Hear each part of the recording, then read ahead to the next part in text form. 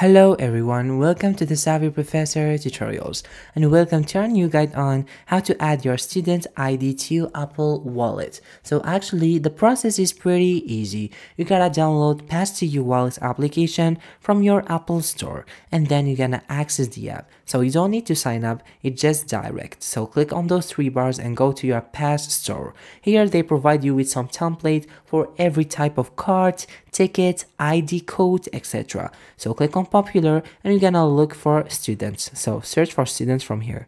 Students. Now you click on done and we're gonna wait for them to give us some templates. Here as you can see you'll have many templates let me choose for example the um student ID. So if you want to add this ID, you just simply have to scan your card from here.